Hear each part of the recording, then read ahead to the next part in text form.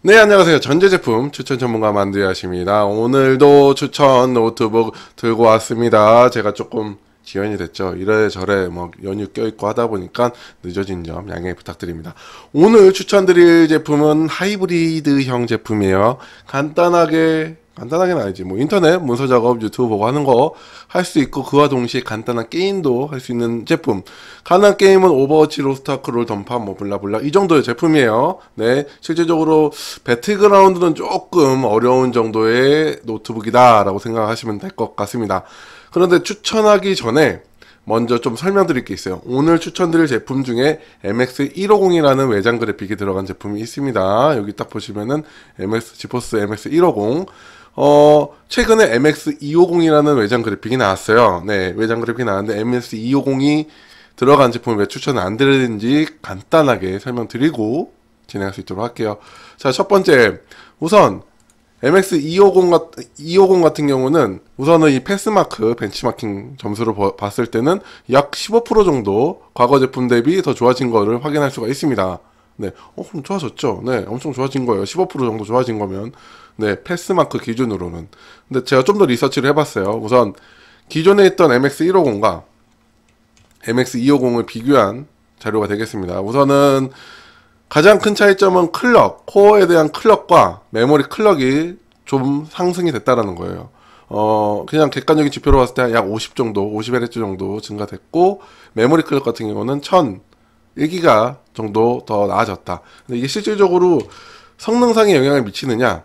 우선 제가 여러 벤치마킹 점수를 본 결과 채 5%가 안 되는 것 같아요. 네, 뭐 따라 다르긴 한데 그렇기 때문에 지금 이 시점에서 아직 검증이 안 된 MX250을 구매를 하는 거는 추천을 드리지 않습니다. 아직 제가 써보지도 못했고 그리고 아직 필드에 많이 깔려있지 않기 때문에 네, 현격하게 이게 더 좋다라고 말씀드리기엔 애매한 시점이에요. 가성비 측면에선. 뭐 도, 동일 가격대면 당연히 250이 좋겠죠. 하지만 그런 상황이기 때문에 아직은 250에 대한 구매를 추천을 약간 망설이고 있는 중입니다. 해당 부분은 제가 가능한 빨리 MX250 제품을 받아서 리뷰를 한번 해보고 네, 추천 드려 볼 수 있도록 할게요. 그런 부분 감안하고 들어주시기 바랍니다. 자 그럼 다시 돌아와서 총 오늘 4가지 노트북 추천 드릴 겁니다. 다시 말씀드리지만 오버워치 로스트아크 롤 던파 정도는 너끈히 할수 있는 그런 사양의 제품이다 라고 생각하시면 될 것 같아요. 안타깝게도 지난달 대비 많이 변하진 않았어요. 네, 한번 같이 볼 수 있도록 할게요. 첫 번째 제품 에이서 니트로 5 네, 가성비 엄청 좋은 제품이죠. 라이젠 5 2500U가 장착이 되어 있어서 가성비 좋은 CPU가 장착이 되어 있습니다. quad core, 간단한 영상 편집부터 뭐 게임까지 가능합니다. 이 제품으로 배그도 돌리는 영상이 있으니까 여기 클릭해서 한번 보실 수 있도록 하세요. 네, 이거는 very low로 했을 때 약 40프레임 정도 나오는 거 보실 수 있습니다. 그래서 이런 제품이 60 만원 초반이에요. 네, 엄청 저렴하죠. 그래서 해당 제품으로 봤을 때는 예, 엄청 가성비가 괜찮은 하이브리드형 제품이다라고 추천드릴 수 있을 것 같아요. 어느 제품이 좀 더 디테일하게 같이 볼 수 있도록 할게요. 쭉쭉 내려보자. 우선 이 니트로 5, 그러니까 작년에 출시한 제품인데 베젤이 좀 넓어요. 우선 단점으로 베젤이 좀 넓, 넓습니다. 아주 강한 베젤이 있고, 네. 그에 따라서 무게도 좀 나가는 부분이 있다라는 거 감안을 해주십시오. 자, 포트 구성이랑 한번 볼 수 있도록 할게요. 포트 구성 쭉쭉쭉. 여기 있다 포트 구성 되게 둔탁하게 생겼어요 크고 두껍습니다 네 하지만 가성비 하나는 끝내준다는 거 full size USB 하나 둘 세 개 있고요 오디오 콤보 전원 포트 HDMI USB 3.0 아니 USB-C 타입 SD카드 유선랜 있을 것 다 있고 하드 추가 가능하고 램 슬롯 두 개라서 32기가까지 업그레이드 가능한 확장성도 좋은 그런 제품이 되겠습니다 그래서 만약에 나는 어, 집에만 놓고 쓸 거다. 많이 들고 다니지 않을 거다라고 하시면 해당 제품 구매하시는 걸 한번 검토해 보시는 게 좋아요. 그런데 만약 그런 조건이면 돈 좀 더 주고 gaming 노트북으로 가세요. 그게 훨씬 낫습니다. 약간 얘는 포지션이 애매하긴 해요. 게임이 저렴하게 게임을 하고 싶다라면 괜찮은 선택이긴 한데 좀 더 투자하시는 걸 저는 추천을 드려 봅니다. 자 다음 제품 넘어갈 수 있도록 할게요. 레노버 아이디어 패드 330S blah blah 이 제품 같은 경우는 꽤나 오래 예, 가성비 노트북에 있는 제품입니다. 나름 디자인도 매끈하게 잘 나왔고 베젤도 얇고 어, 15.6인치임에도 불구하고 1.7kg로 나름, 나름 가벼운 축에 속하고, 나름 외장 그래픽도 있어서 오버워치 정도는 너끈하게 플레이 가능한 그런 제품. 그럼에도 불구하고 가격은 64만 9천원. 한번 같이 볼 수 있도록 할게요. 해당 제품, 제가 리뷰를 직접 진행을 했는데 상당히 만족스러운 제품이에요. 가성비 대비 되게 만족스러웠던 제품인데 제가 61만원에 구매했었나? 그랬습니다. 가격이 조금 오른 상태예요. 자, 포트 구성이랑 같이 볼 수 있도록 할게요. 자, 우선은 포트 구성 보시면 full size USB 두 개 있고요. 네. USB-C 타입 하나 있고 SD 카드 리더, HDMI, blah blah. 그래서 기본적으로 full size USB가 두 개밖에 없는 게 안타깝긴 하지만 뭐 일반적인 사용 용도로는 크게 문제는 없으실 거예요.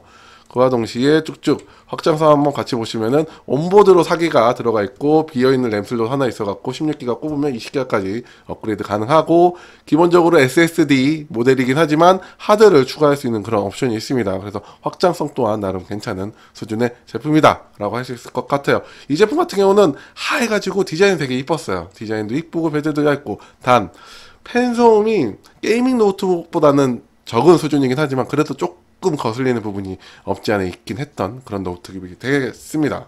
제 리뷰 찾아보시면 해당 제품 있으니까 한번 보시는 걸 추천드려 보아요.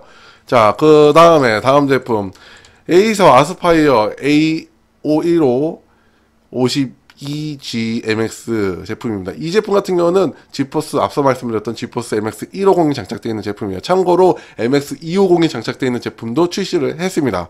근데 가격이 10만 원 정도 더 비싸요. 그래서 과연 이 MX 150과 250이 10만 원의 차이를 하느냐 를 아직 제가 확인을 못해서 250은 추천을 못 드리고 있는 상태예요. 해당 제품 같이 볼 수 있도록 할게요.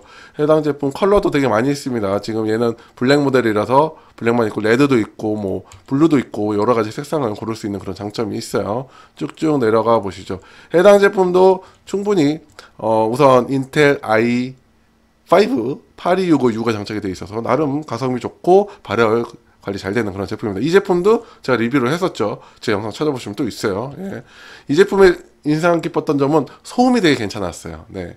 성능도 괜찮고 소음도 되게 관리가 잘 됐던 것으로 제가 이 어, 기억을 하고 있습니다. 기본적으로 IPS 패널 들어가 있고요. 포트 구성 같이 볼 수 있도록 할게요.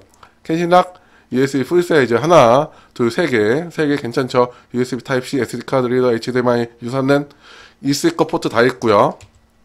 확장성 같이 보시면은 32기가까지 업그레이드 가능해요. 비어있는 어, 램이 하나 꼽혀 있고 비어 있는 게 있어 갖고 둘 다 16기가로 바꿔 끼면 32기가로 업그레이드 가능하다는 거, 확장성 좋다는 거, 그리고 추가적으로 하드 추가 가능하고 M.2 슬롯도 있다라는 거. 참고로 지금 링크 같은 경우는 하드 모델이에요. 그래서 어, 판매자에게 요청을 해서 SSD로 교환을 해서 기본 적어도 SSD를 추가를 하든지 교체를 하시는 걸 추천해 드립니다. SSD 없이 요즘은 사기가 어려운 것 같아요. 그럼에도 불구하고 해당 제품 무게가 1.6kg 앞서는 1.7kg 나와 있는데 실질적으로 하드독을 제외하면은 1.6kg까지 떨어지는 걸로 우선 확인을 했어요. 그래서 해당 제품 되게 가성비 괜찮은 제품이었다.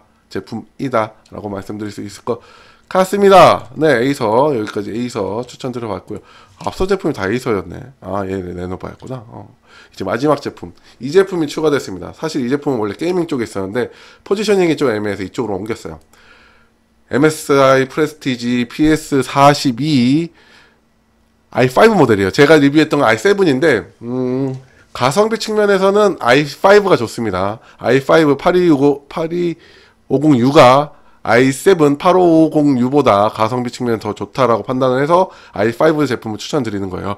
해당 제품 여태까지 제가 사용했던 리뷰했던 노트북 중에 가장 만족성 높은 제품입니다. 1등이야 1등. 아직까지 1등. 네. 왜 그런지 말씀드릴게요. 기본적으로 말씀드렸지만 i5 8606 가성비 좋은 영상 편집도 어느 정도 되는 그런 CPU가 탑재되어 있고 그와 동시에 14인치 FHD 광시야각 블라블라 있고 그래픽 카드가 GTX 1050이에요. 네. 말 그대로 배틀그라운드 됩니다. 네, 배틀그라운드 되는 그런 사양.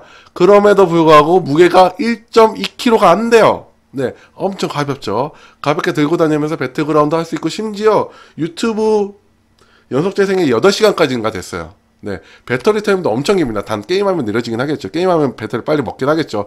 그런 제품. 네, 그래서 여태까지 제가 리뷰했던 제품 중에 원톱으로 뽑는 제품입니다. 아직까지 네 원톱이요. 제가 만약에 자금 여유가 넉넉하다면 네, 해당 제품 바로 지를 겁니다.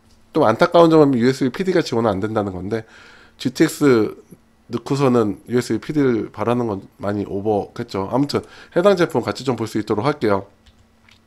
쭉쭉 해당 제품 우선은 예 초경량 디자인 네 IPS 예 패널도 좋아요 sRGB 100% 지원하는 그런 패널입니다 M.2 슬러 블라블라 있는데 기본적으로 이 아 이 용 용 용은 좀 그래. 여기다가 이쁜 스티커 붙이면 되고요.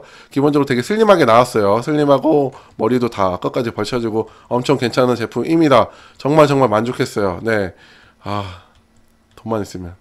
아무튼 나 사고 싶다. 네 그런 제품 자 포트 구성 한번 같이 볼 수 있도록 할게요. USB C 타입이 두 개가 있습니다. C 타입 한쪽에 하나 반대쪽에 또 하나 있고 풀 사이즈 USB 두 개 있고 SD 카드 캔실락 전원 HDMI 이어폰.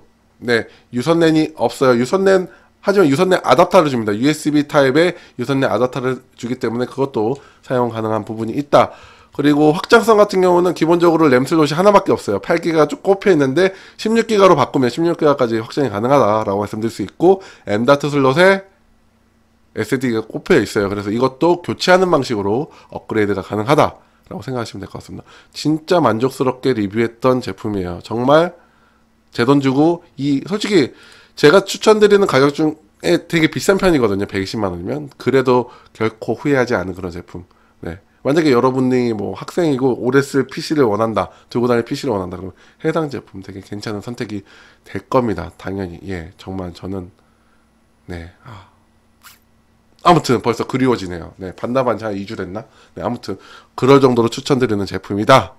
라고 말씀을 드려봅니다. 네, 아무튼 오늘도 이렇게 간단하게, 네, 하이브리드형, 간단하게 게임도 즐기고, 나름 들고 다니기도 하고, 싸게 쓸 수 있는 그런 제품들 추천드려 봤고요. 마지막 건 싸진 않지. 네. 아무튼 해당 영상이 여러분의 전자제품 선택함에 있어서 도움이 되면 좋을 것 같습니다. 해당 영상 제품 관련해서 질문사항 있으시면 언제든지 댓글 남겨주시고요. 좋아요, 구독, 사랑입니다. 네, 그럼 남은 하루 행복하시고 이상 만드셨습니다. 그럼 뿅!